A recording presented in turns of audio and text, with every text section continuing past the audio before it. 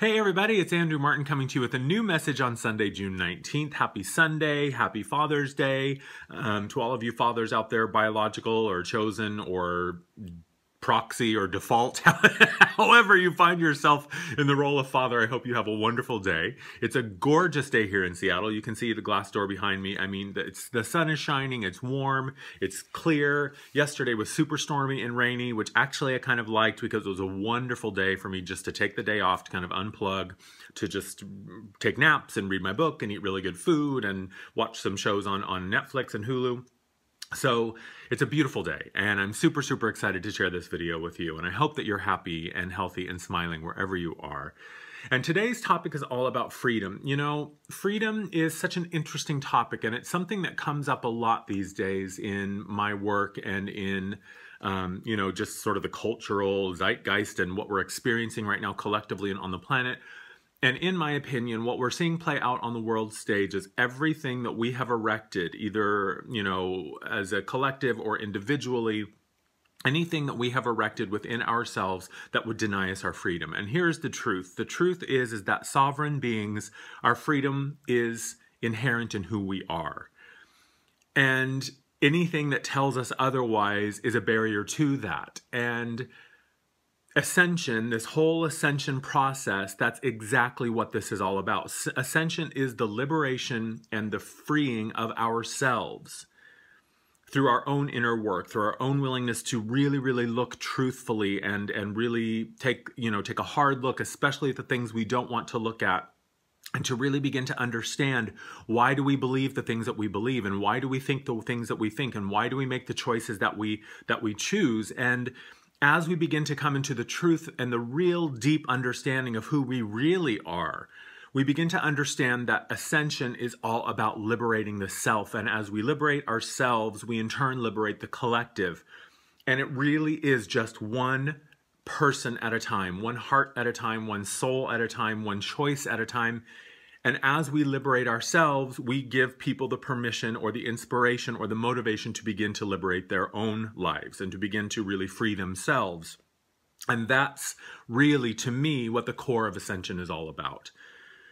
And I started thinking about this, believe it or not, from, you know, I was watching Skin Wars. I don't know if you watched that show, but RuPaul um, is a host and um, it's a body painting uh, reality show, contest show, and I, I, you know, in another part of this lifetime, I was a makeup artist for a long time, and body painting was something that I always really enjoyed.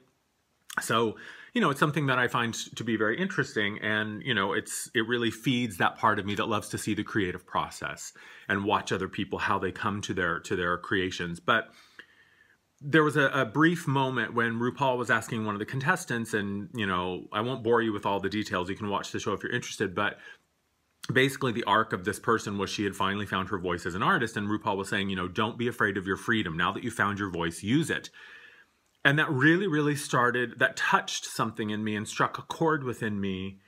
And it was part of getting me to the point, you know, the last video that I recorded, the Time for the Truth video, which, by the way, I want to take a quick second to say thank you to everybody who took the time to send me a message or reach out and let me know um, how much that video inspired you or spoke to you or lit a fire within you because that's why I did it. You know, it really was about me saying, I got to put my money where my mouth is. And I'm always preaching to people, you know, step into your discomfort, move away from your comfort zone, do what makes you uncomfortable, move towards that because that's where your truth is.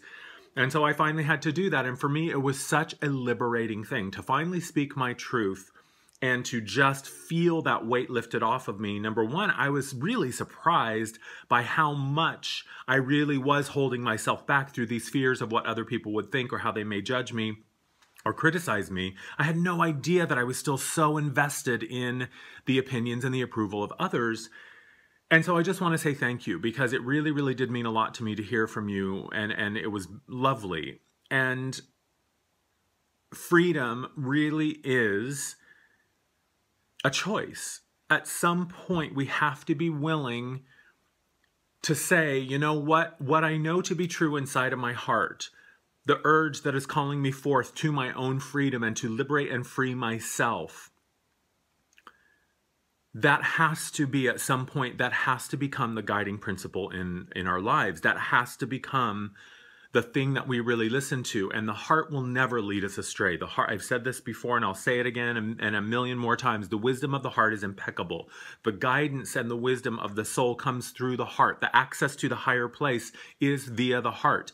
And so when we really begin to trust and to to learn how to listen to that voice and how to hear that voice and trust to move in the direction of it is really aligning us with the greatest good that we came here to to create and to live and the life that we came here to live and how we breathe life into it is by really listening to the heart.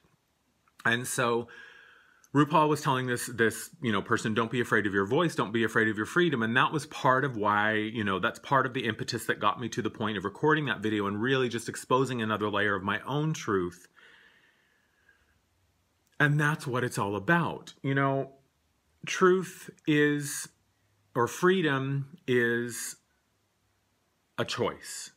Freedom is a belief. Freedom starts with the understanding and the idea that I have to at some point put my own knowing and my own you know that voice that's just nudging me forward and nudging me forward at some point I have to believe that that voice is here to help me and to guide me and to lead me in a direction that I is really aligned with the work that I came here to do in my life.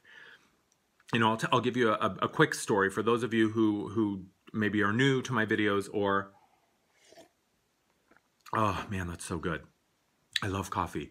Uh, for those of you who maybe haven't heard all my videos or don't know my story, I'll give you a quick version. I was living in New York. In 2005, I was, you know, at the end of my time in New York. I was very, very unhappy. I was feeling really trapped in my life. I was miserable. And I was at the end of my rope. I really just had no idea. I had lost my apartment. I was, in, you know, tens of thousands of dollars in debt. I didn't want to be, this was sort of at the end of my makeup career. I didn't want to do what I was doing anymore. I just was really lost. I had no idea where to turn. I was sleeping on my mattress in a friend's living room in their apartment in Jersey City. And it just was at the end, you know, they had, you know, I'd been there for like nine months and they had lovingly told me, Andrew, honey, we love you. But, you know, this was originally going to be, you were here for a couple of months and now it's been like nine months and you got to go. So one day I was sitting in the, in the living room drinking my coffee and everyone else had gone to work and I just, you know, I kind of beseeched the heavens and I said, and I had a rough understanding of spirituality and I had really, you know, but I was nowhere near at the level of understanding that I am now. But at the time, I really just said, okay, I don't know what to do. I'm help. I, I, I, I feel helpless and hopeless, and I, I really need your help. I don't know what to do. I'm lost. And out of the blue, I heard this voice say you do realize that it doesn't have to be this difficult. You can move back to Seattle if you want to. And when I say I heard a voice, it wasn't a voice, it was a voice. It was a it was, you know, a voice. And it was unmistakable and very clear that this voice was coming from a place that I had never really, you know, connected to before.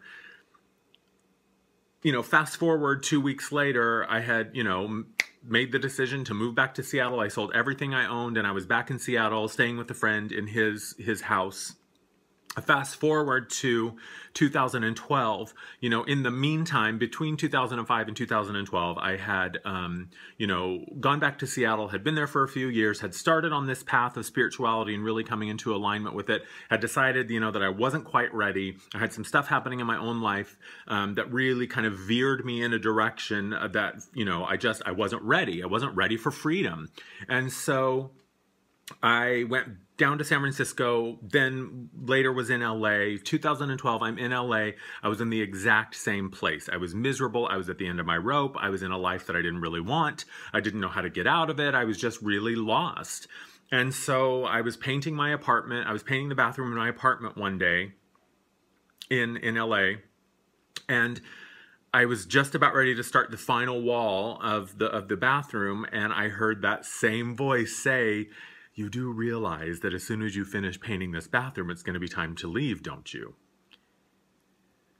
And I was like, okay, that's it. I, I, I can't pretend anymore that this, you know, that this is not happening. And it stunned me. It stunned me to the core. It shook me. It rocked me to my foundation because I knew very clearly that this was the same voice I had heard in New York. It was that I, I, I unmistakably knew that I had not been making it up, that this wasn't something I had imagined, that it was very, very clear that it was time for me to make a really big decision.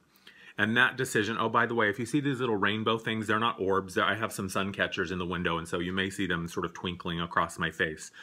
Um, and so I went and I sat in the living room, just kind of speechless and stunned. And I made the decision. I said, okay, whoever you are, whatever it is that you know that I clearly don't know at this point, whatever it is that you see that I don't see, if you get me back to Seattle, if you get me a job in an apartment, I promise I will do whatever it is that you're asking me to do. The next day, I quit my job. I had zero plan of what I was going to do and how it was going to happen. Three weeks later, I was back in Seattle with a job, with a job and an apartment, and it just happened like that. The point of this is, is that the universe, ourselves, our guides, our angels, our higher selves, however you want to classify or quantify the guidance that we receive and that we always always have access to. It is always moving us in the direction of our greatest freedom. It is always moving us in the direction of the work that we came here to do. Freedom is a choice. Freedom is a belief. For me, at that moment, freedom was trusting that this voice that had shown up for the second time in my life, and now I know I can look back and see, you know, other ways that this voice was guiding me. By the way, it was Archangel Michael. Um, when I finally realized that this was not a trick, that this voice was really pushing me in the direction of what I came here to do, freedom comes from when we align ourselves to our divine purpose, when we align ourselves to what we came here to do, because this is the thing divine purpose isn't something that's thrust upon us, it is something that we agree to. Freedom is a belief and a choice that there can be something greater than what we have, that our happiness does not lie out here. Happiness and freedom and power do not lie outside of us, they all begin internally first. You know, there's all those stories of, and I'm fascinated by these stories of you know people who are in the prison system and they're in there for really really long periods of time or they're chronic you know chronic prisoners. Um, they they go in and out of the system for whatever reason. And oftentimes you will hear them say how they are terrified of being on the outside because it's too much you know it's too much freedom it's too much choice it's overwhelming to them and they oftentimes find ways to put themselves back in the system because it is easier for them to live a life where, you know, they're told when to go to bed and they're told when to get up. They're told when to eat and when to go to the bathroom and when it's free time and nap time and lights out and all that. And I get that. I understand the illusion of security that presents itself via a life that has been constructed by somebody else for us and we feel like we're just sort of plugged into it. It feels easier. It feels more convenient. It feels more comfortable because I can just sort of turn my brain off and I don't necessarily have to make the big decisions in terms of where's my freedom. You know, there's also that that um, fable, and I don't know if this is true or not, but I love this story and it's the the idea behind it that I think is important. So, you know, please don't message me and tell me that this story is fake and that I should do my homework because that's not the point. The point of the story is, you know, there there's that that story, whether it's true or not, about you know elephants who are raised in captivity from birth and when they're a little baby elephant they have a rope tied around their leg and you know that's what keeps them it's like their leash and then as they grow up into a mature you know several tons of of an animal they still have the rope tied around their ankle and they could snap that rope like that and i've talked about this way way back in other videos i talked about this story but they could easily snap that rope and run free. But because they have born they have been born into a reality that tells them that they are not free, because they have been born into a reality that tells them that this rope is more powerful than they are, when the rope is nothing. I mean, that's nothing, right? An elephant and a rope. They have been born into this belief that this is what the reality is and they just have to accept it. And so they never try to break the rope and never try to break free. Man, if that is not a perfect fucking metaphor where so, for where so many of us are and where I was and where I have been so much of my life. And even up till last week when I recorded that video, It's Time for the Truth, I didn't even realize how much of me still believed that it was very important for me to place you know, weight upon what other people thought and whether or not other people agreed or approved or validated what I put out there. So, freedom is a belief. It starts as a belief. And then as we begin to understand it, then it becomes a choice. And it does not matter where we are in our lives, we always have a choice. Now, sometimes that choice feels very small.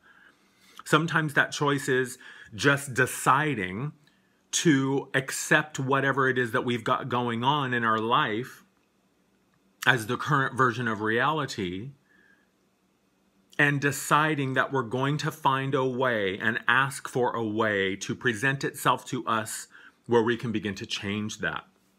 So I get it. Oftentimes the freedom choice is really, really small, but it's still a choice. Freedom comes when we begin to interrogate our own experience. Freedom comes when we really are willing to look inside and say, okay, you know what? The choices that I have made and the things that I have done in my life, it is required for us to accept that on some level, we had a hand in creating all of it. Now, whether that choice and whether that decision to create it came from a subconscious, a conscious, or a superconscious level, you know, we can pick the threads apart and we can, you know, we can split hairs all we want, but on some level, all of us create everything that we experience, whether as an individual or as a collective. And ascension and the events that are happening on the planet right now are all pointing us in the direction where we have given our freedom away. And whether we give it away by default because we're born into a system that we don't realize that we're actually a really fucking power, powerful elephant and the thing that's holding us down is just a flimsy rope, or whether it's a choice that we consciously make through, you know, decisions to hide or to retreat or to place importance upon what other people think. Freedom begins when we begin to interrogate ourselves and really look within and ask the questions. Freedom is understanding that oh, I can actually choose my emotions. Freedom is saying, oh, I don't have to create from fear or doubt or insecurity. Freedom says I can allow those things to emerge and present themselves to me, but that I do not have to own them or claim them. I can let them go. Freedom is a belief, it is a choice. Freedom is a decision. And anybody or anything that tells you that your freedom lies in the hands of another is feeding you a line of bullshit. So, what I want you to begin to ask yourself, and the questions that we need to begin to ask ourselves, is where have we surrendered our freedom? Because we have chosen to believe that another person has more power than we do. And a lot of this is coming to light through the political upheaval that's happening in this country and around the world. And we're really beginning to understand like, why do I believe all of a sudden that just because you've told me that you are qualified and just because you've crafted a persona that tells the world that you have the best interests of everyone at heart and that you're the one to do the job, you know what? You're just another fucking person like I am. How are you any more qualified to make decisions for me than I am for you?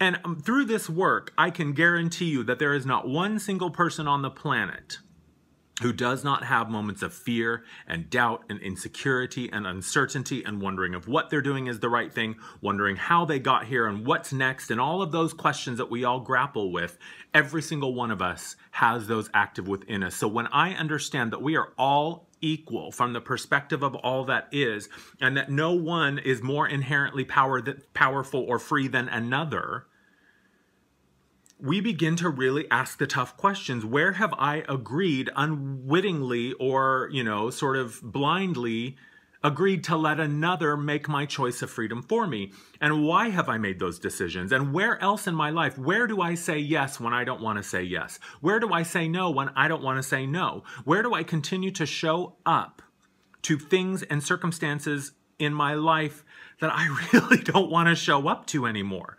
And I'm not saying that these decisions are easy to make. The work that is required to free and liberate ourselves is the toughest fucking work we're ever going to do. I posted this on my Facebook and my Instagram yesterday. You know, 51% love and light, 49% fire and brimstone. Don't fucking push it. This idea that somehow we should just all be airy, fairy, happy, love, and light, and that everything will just magically work out is total bullshit. I call it a spiritually transmitted disease. If you are only doing the work of the happy, airy, fairy, you know, unicorns and glitter, you're only doing half the work and you're never really going to truly free yourself. You're never really going to truly heal yourself until you are willing to sit with the shadow. Until we are willing to look at the ugly, nastiest aspects of ourselves, our demons that live within us. Until we are willing to stand up to them, look them in the eye, stare them down with love in our heart, we will never truly be free. Mastery, freedom, liberation, true power comes from being able to look the darkest aspects of who we are in the face and love them anyway. And as I learn how to do that within, then I am able to look without on the world stage and say, you know what? These people who I would be so afraid of and who present themselves as monsters in my reality, they're no more powerful than I am. They're no more powerful in the true sense of the word than anybody else. It's just we have been taught to believe that the rope that's tied around our ankle is stronger than we are. And that's what they don't want us to know is that our power is inherent in who we are. The fact that we are here alive and breathing on the planet right now means that we are powerful beyond measure. We are the creator spark in a human body. And that goes for everybody. If you're alive and you're breathing and you're walking around on this planet, you have the creator spark active within you. And creator does not judge any of its creations as lesser than, greater than, good or evil, bad or good. It just is.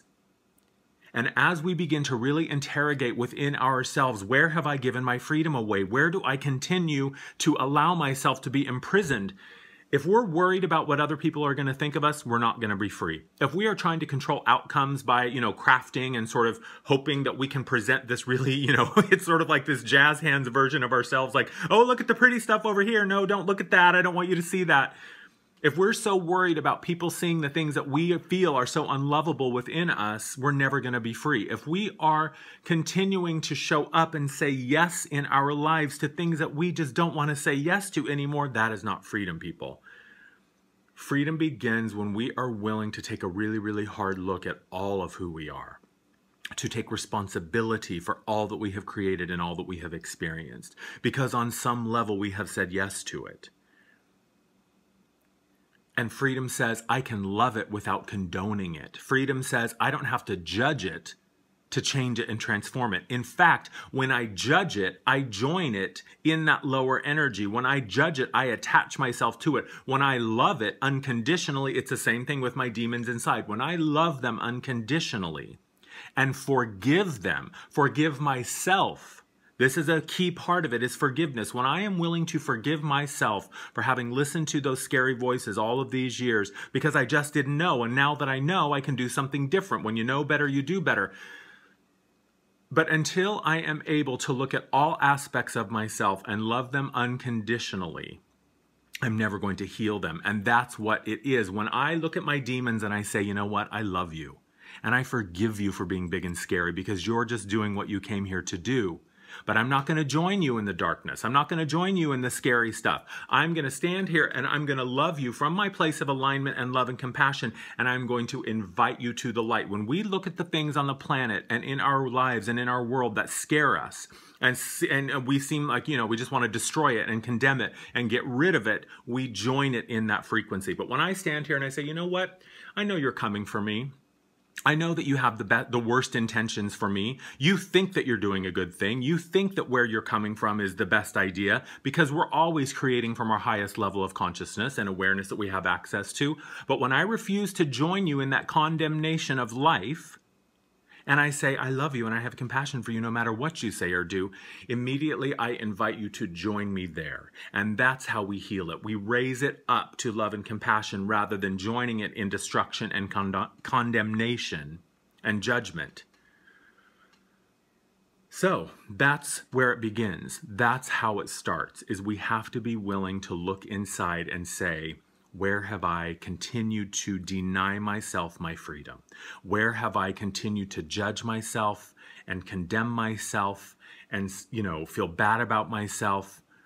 Where have I withheld love and compassion and forgiveness from myself? That's where your work starts. And as you are able to find love and compassion and acceptance for all of the aspects of who you are, to give them a seat at the table and say, even the ugliest, nastiest, funkiest part of myself has the right to be as it is and sit at the table with me, and yet I will not join it in its darkness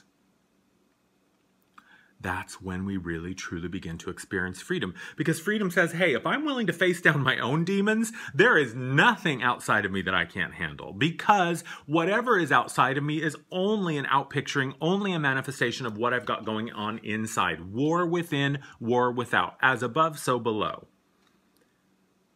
So begin to ask yourself, where have I continued to say no when I wanted to say yes? Where have I continued to deny myself the truth of who I am? Where am I unwilling to turn and face whatever it is within me that's asking for my attention?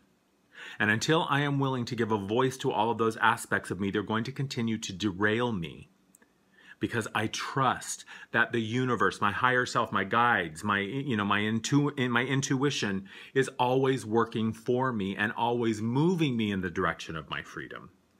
And until I really begin to trust that, I'm going to continue to sabotage myself. These aspects of ourselves that we feel are always tripping us up and messing things up, they're not here to harm us. They don't wish us ill. It's just they have a job to do, and that job is to get us to, to the point where we can turn and face them and not back down from our place of truth and alignment. I think that's it. I think I got all my notes. So thank you, RuPaul, for that inspiration. And yeah, begin to ask yourself those questions. Where am I holding myself prisoner? And here's the thing, people, it's going to be a lifelong process. You know, you're always going to find a new layer to peel back. That's the beauty of it. Is just when I think I've gotten as free as I can, there's another level of freedom awaiting me. But it all starts in here. And it all starts with understanding that anyone that tells me they can free me and give me sort of a shortcut around the work, they can't free me. They're selling me some fucking snake oil. Anyone that tells me that they have the answer and they know better than I do, sure, listen to them with an open mind and an open heart. But the open heart is the key. If it doesn't feel right, it's not right. If, it, if something feels funky and off, and I don't know why, but I just don't trust what you're telling me, that's the voice you want to listen to. Anybody that tells me that if I give them the keys, they will free me, no, I already got the keys. I came with them in, in built into who I am. My freedom and my sovereignty is guaranteed as a spark of the creator in a human body. And the human experience is all about coming in with that intact. And then we live our lives and we continue to give our freedom and our power away because we just don't know better, right? We don't know that the rope that's tied around our ankle isn't stronger than, isn't really stronger than we are. And then at some point we begin to wake up and we begin to ask these questions and we begin to interrogate what's going on in here. And that's when we begin to unlearn fear. We begin to unload all the bullshit. We begin to believe and understand and really, really recognize that my freedom was here all along. It's the fucking Wizard of Oz. Just click your heels. You've had the power all along. And my job is to help you see that. My job is to help you realize that. Thank you as always for watching. Go to my website, check me out there. I've got a whole list of services. You know, I've really been getting the guidance lately that I'm supposed to be sort of integrating them all into one service. So you may see my service offerings change. However, right now they're all there, they're all available. I know that in 60 minutes or less, I can help you begin the work of unraveling the sweater. You got to start pulling that thread. I think of the Weezer song.